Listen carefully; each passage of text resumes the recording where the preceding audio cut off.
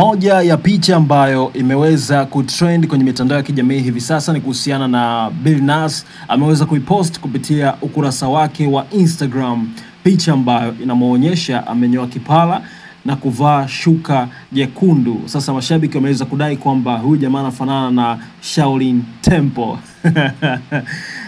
Kama kawaida yangu ni kuja kwenye comment kuweza kuzisoma za mashabiki kipi ambacho wanakizungumza. Huyu ni Fred Vunja Bay ameweza kucomment hapa kupitia ukurasa wa Belnas, ameweza kusema kwamba ka akaweka na emoji ya kucheka. Huyu mwingine anaitwa Ray Jones ameweza kuweka emoji za kucheka na kusema da.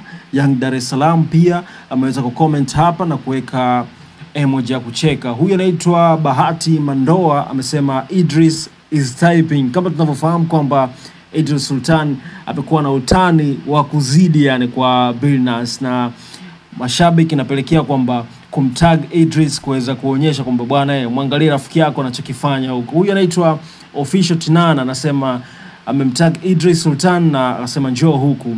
Huyu mwingine anaitwa Precious underscore Christina anasema wanaume wenye vipara wanajua mapenzi nyie. Billnass ameweza kuireply hii hii take, hii nani hii comment ameweza kusema kwamba mbona ghafla sana ficha Idris asione. Huyu mwingine anaitwa Damsusi underscore Arusha amesema kwa nini Sumbawanga. Huyu mwingine anaitwa Medi anasema parachichi. Huyu anaitwa Excel anasema Idris anasubiri kufuturu aingie Photoshop. Huyu anaitwa Starboy Kiparangoto songa ugali tule.